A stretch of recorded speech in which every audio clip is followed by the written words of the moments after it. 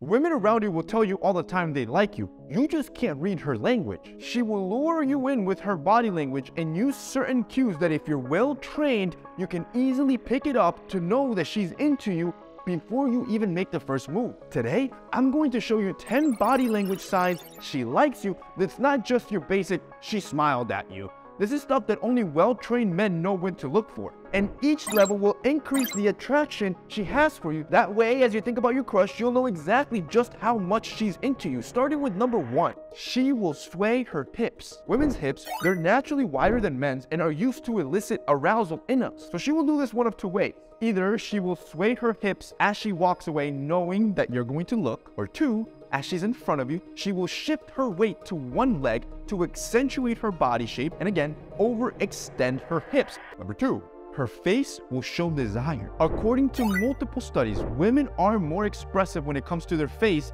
than men. This means that any sign of desire is intentional and not a coincidence. What you need to look out for is the slightly parting of lips. When lips start to slightly part in the middle of a conversation, it's almost like she's sexually opening herself up to you.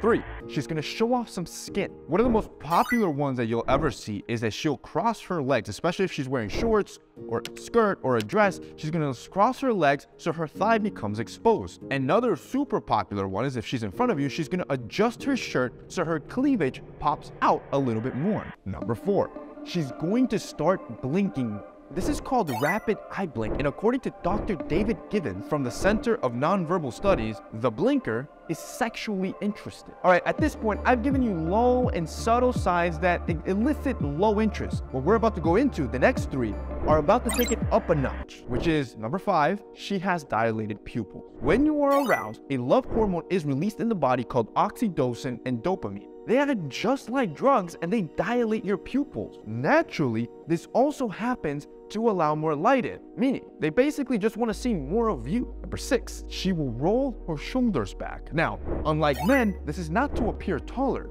but to expose her chest. For her, she understands this is a sexual signal. Again, with women, Nothing is an accident, and she knows that she can use this to elicit attraction out of you. Number seven, she will stroke an object. This object can be anything. Most of the times it's a cup, think of a glass, or it's her phone, or a pen. It's almost like a tic where she will lightly caress an object. It comes out of a desire to touch and be touched and as a way for her to calm her nerves. Okay, you made it this far, bro. That means if it's the girl you're thinking of, she likes you, especially if she's done all seven I just went over. These last three I'm about to share with you are the most intense body language moves a woman will elicit when she's into you. These are high interest body language cues. Starting with number eight, she will point her feet towards you. This is interesting because we're not always aware where our feet are pointing. We just intuitively point them in the direction we want to lead towards. So essentially, her feet are telling you what her brain is thinking without her realizing. Number nine, she always dresses nice. If she always has her hair done, she has a nice fit on, she has the good makeup on, she's trying to look nice